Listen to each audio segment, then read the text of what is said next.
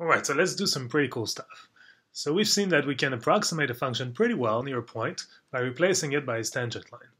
But come on, I mean a tangent line, a line is not the same as a function. So it provides a good first order approximation, but it's clearly not the same. Can we do better than that? Well, my claim is that we can, and that's exactly what we'll do in this video. So let's get started. Alright, so the linear approximation of a function was the idea of replacing that function by its tangent line. Another way of saying that is that we're taking the function and replacing it by a linear function that I'll call t1 of x, so that's a degree 1 polynomial, such that the value of the function and the polynomial are the same, and also the first derivatives agree. Now this is the same thing as saying that the polynomial defines the tangent line, because indeed the tangent line intersects the curve at x equals to a, and also f prime of a gives the slope of the tangent line. Alright, but can we do better than that? Can we find better approximations by replacing f of x by higher degree polynomials. My claim is that we can. So let's do it first for a degree 2 polynomials. Instead of talking about a linear polynomial, let's now try to find a degree 2 approximation of our function. So how do we do that? Let t2 of x be a quadratic polynomial, degree 2 polynomial, such that it agrees, the value of the polynomial agrees with the value of the function, the first derivatives agree, and also the second derivatives agree. So that's one extra condition here. My claim is that we can find such a degree 2 polynomial, and if we can, then we say that replacing the function by this degree 2 polynomial is the quadratic approximation of the function near x equals to a. Now, of course, this is a better approximation than the linear approximation, because now we're satisfying three conditions instead of only two. What we're doing geometrically is that we're approximating the function here by replacing it by a parabola instead of a line, so that's a better, that's a better approximation. Okay, but how can we find this degree 2 polynomial? Well, let's try to do that explicitly. So what we're trying to find is a quadratic polynomial such that it satisfies these three conditions. My claim is that the following polynomial will be exactly the one we're looking for. So t2 of x should be f of a plus f prime evaluated at a times x minus a plus f double prime at a over 2 times x minus a squared. My claim is that this degree 2 polynomial, this is clearly degree 2 in x, this degree 2 polynomial satisfies these three constraints. Okay, so let's prove that.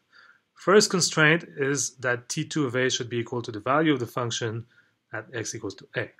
But if I replace x equals to a here, this term vanishes, this term vanishes, so all I'm left with is f of a, which is indeed what I should be finding. Check. First condition is satisfied. All right, so let's check the second condition. So I want the first derivatives to agree, so I need to calculate the first derivative of my degree 2 polynomial. Just calculating the first derivative here, I'll get f prime of a plus, here I need to use the chain rule, there's a 2 coming down, I get f double prime of a times x minus a. But to satisfy the condition, I need to evaluate that at x equals to a. And if I do evaluate this expression at x equals to a, this term vanishes. All I'm left with is f prime of a. Check. Second condition is satisfied. And what about the third one? So here I need to calculate the second order derivative of t2 of x. So I take the derivative of this expression here.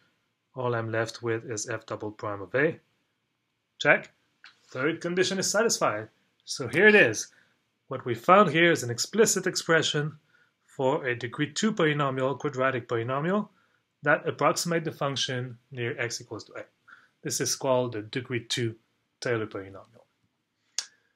Can we do better than that? Why did we stop at degree 2? Can't we just keep going and do higher degree approximations of functions? Well, indeed we can. How do we do that? Here it is.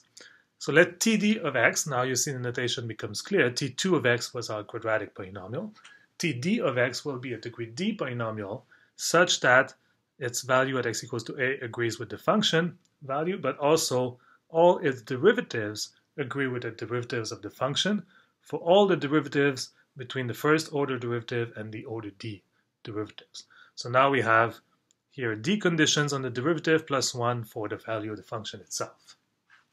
If we can find such a degree d polynomial, then we say that replacing the function by this degree d polynomial is the degree d approximation of our function near x equals to a.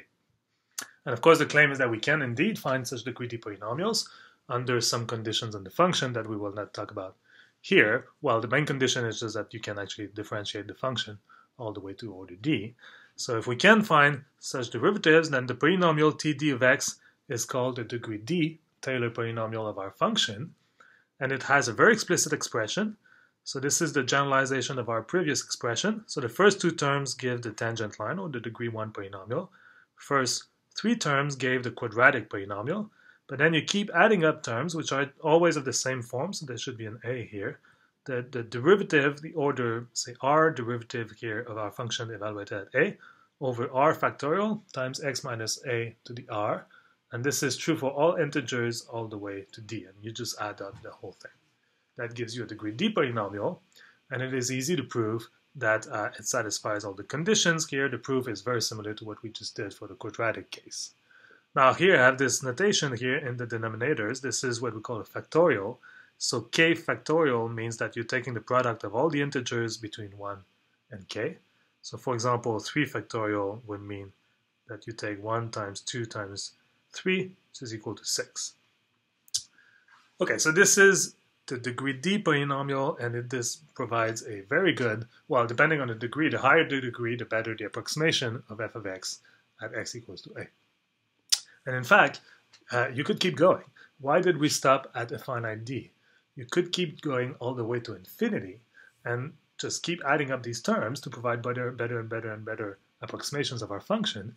And you could end up with an infinite summation of term here, which should provide an infinitely precise approximation of the function. Now this is called the Taylor series. So we haven't talked about series, but we'll talk a little bit about that in class. What you can prove if you have an infinite summation here, you can prove that in fact the infinite summation converges to precisely the value of the function uh, around x equals to a. So it does provide not only an approximation then, but like an exact uh, kind of formula for the function near x equals to a. Okay, but we'll talk more about Taylor series in class. Now we're going to stick to Taylor polynomials for now. So all I want to do now to end this video is give you an example how you could calculate a higher degree Taylor polynomial for a given function. So we'll come back to our function uh, f of x equals to sine of x. So we've already calculated that the linearization of f of x equals sine of x, I should say here, near x equals to 0 is uh, just replacing it by a tangent line, which was just y equals to x. Okay, but now what about higher degree approximations? So I'll calculate here the degree 3 approximation. So what I want to do is calculate the degree 3 Taylor polynomial of sine of x near x equals to 0. So this will be given by f of 0 plus f prime of 0 times x minus 0 plus f double prime at 0 over 2 factorial times x minus 0 square plus f triple prime at 0 over 3 factorial times x minus 0 to the power of 3. And then I stop here because I'm only interested in the degree 3 approximation of our function. So this is a degree 3 polynomial. Okay, so to calculate the degree 3 polynomial here, all I have to do is calculate the derivative, the, the, the, the derivatives all the way to order 3 of our function and evaluate at x equals to 0. But this is pretty easy to do for our function. So the function is sine of x. First derivative of sine of x is cos of x. Second derivative here will be minus sine of x. Then the third derivative will be minus cos of x. All right, and then I need to evaluate at x equals to 0 to get the expression for the Taylor polynomial. So I get f of 0 is equal to sine of 0, which is 0. f prime at 0 is cos of 0, which is 1. f double prime at 0 is minus sine of 0, which is 0. And f triple, triple prime at 0 is minus cos of 0, which is minus 1. And all I have to do now is substitute all of that in my expression for the Taylor polynomial. So what I get is that t3 of x is equal to, this term is 0, this terms become just x, this term is 0. This term becomes x cubed over 3 factorial, where we call that here 3 factorial is equal to 6. We just calculated in the previous slide. So here I get, uh, sorry, that's minus x cubed over 3 factorial, so I get minus x cubed over 6. And this thing here I just calculated is the degree 3 Taylor polynomial of sine of x near x equals to 0. Now the first term here provides the linear uh, approximation. This now provides a better approximation, which is a cubic approximation of the sine function near x equals to 0. So you could graph, for example, this, or you could graph just x and this and sine of x, and you will see that this is actually a better approximation. And what you could do from a physics point of view, remember that the reason why we're interested in that is that if you study the pendulum in physics, what you want to do is replace sine theta by theta, which is valid for small angles. Now, if you wanted to get a more precise result for your pendulum, then you could replace sine theta by theta minus theta cubed over 6, and that would provide a better uh, approximation of the result. And you could keep going here. I uh, just add higher and higher degree, and you will get uh, better and better approximations of uh, the result for the pendulum.